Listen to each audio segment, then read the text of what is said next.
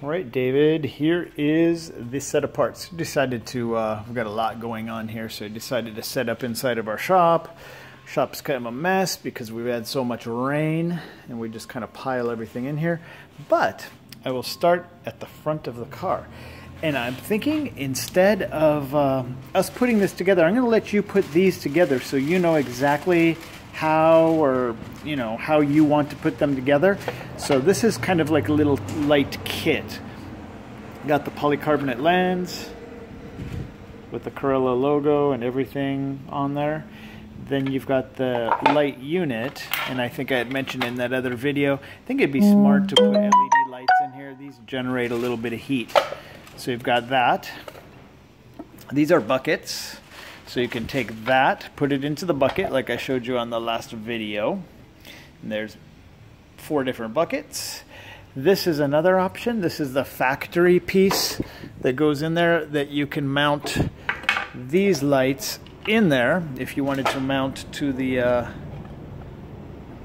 to kind of like a factory piece. So you get a couple options there. There's our uh, grill. It's got the same curve as the front end. Um, you've got the front valance, front bumper. We've already installed the lights for you. These, when you take them apart, be kind of careful. Try to bring that lens straight out this way. If you bend it a little bit, it's really in there pretty tight, so you've got a nice fit. Then you've got access to the back of the lights through there. Uh, let's see, we've got the nose panel. And you can see we've got a little flange right here and over here. The nose panel will attach to that. You've got your hood over here. I'm to run over here so you can see your hood frame. So hood frame, and I showed you before how these are just tacked into place down here also. So you can move them around and make that fit to your car perfect.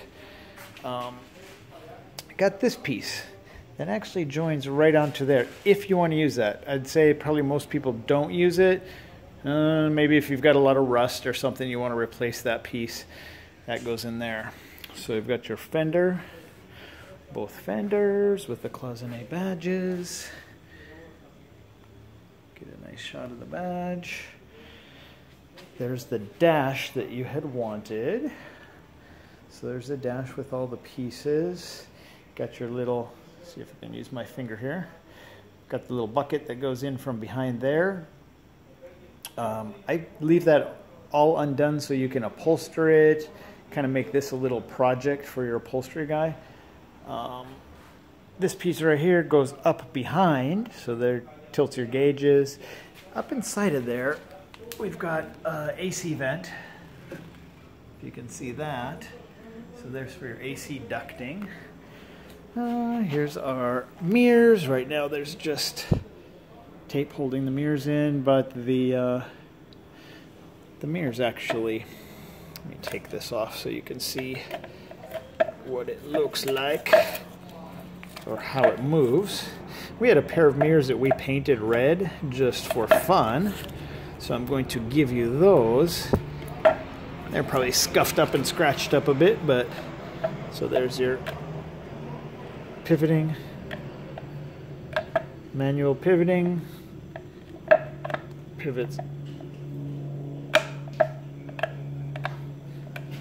So there's that. Hey Lewis, I'm making a little video. Uh, here's the entire rear end. This, you'll see it's duplicated, that little ledge where the window sits. It's duplicated there. So this edge would go up against there, cut this piece right there, cut that away, put that piece in there. But this just gives you a little bit of guiding.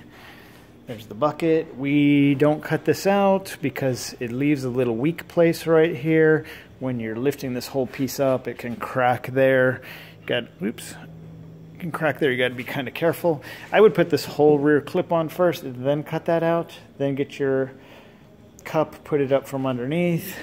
Here's a little lid. Um, rear latch. There's a key. Here's how we're holding this together right now. You'll find the two panels. We'll probably leave, just undo a couple screws and leave this attached. So we've got panel number one, panel number two, and panel number three.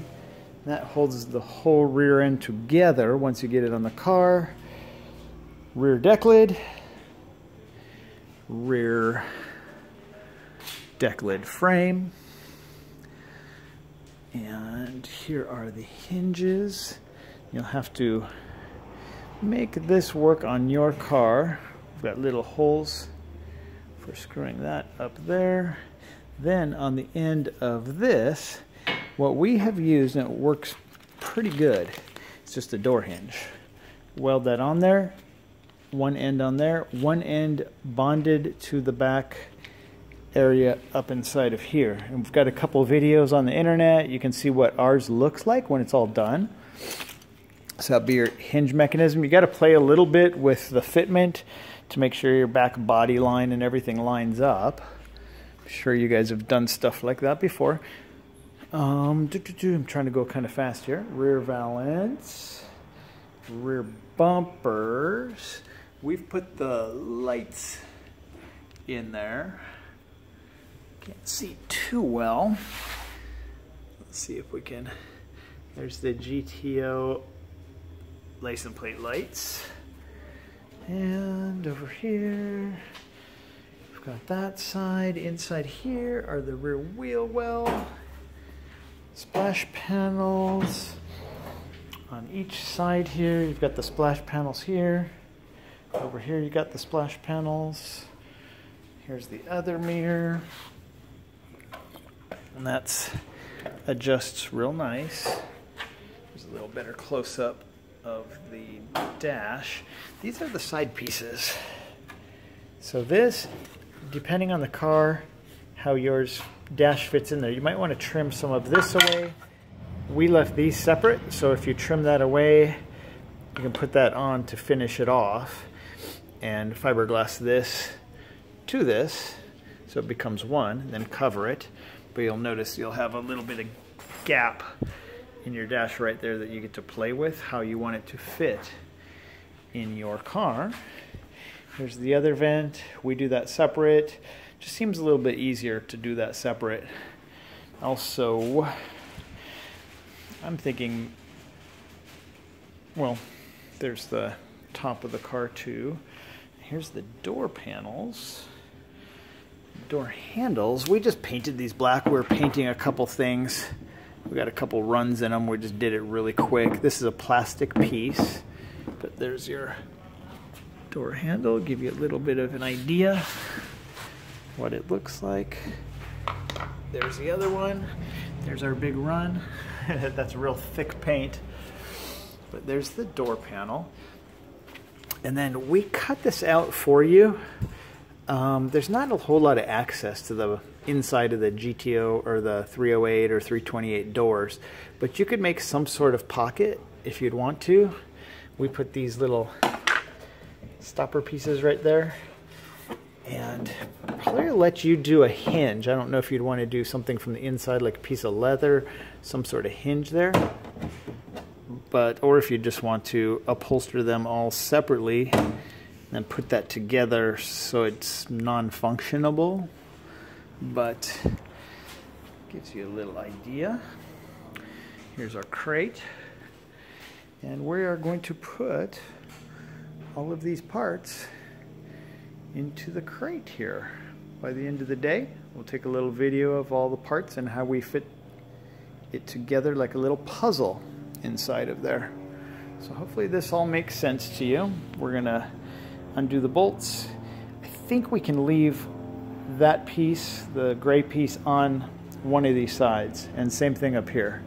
I think we can leave that on there so you don't have to search through it in the box trying to find it when you open up the box. But that's it. I'll show you this little badge here.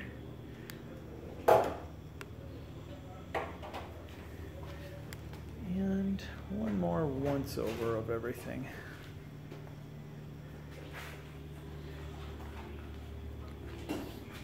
One thing we don't have, just to point out to you, is we don't have these little pins, the quick release pins.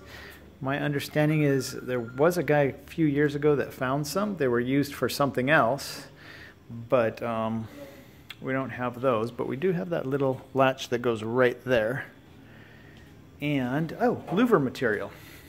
So we're going to count out this material that I showed you in the last video. We've got quite a bit of it, and we're going to give you more than what you need. So that'll be added to everything here. Um, as far as, in case you're curious, this is what we do for the inside of the bumpers.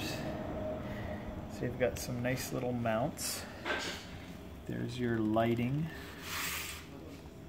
um, to hook up the lights. Show you a little bit how we finish the louvers and everything. Everything's finished off really pretty nice. Has a nice look to it. We do a little bit of body work to these parts so they don't just come out of the molds looking like this. And nobody can make parts that look very really nice straight out of the molds. You got to spend a little bit of time on them, as you probably know.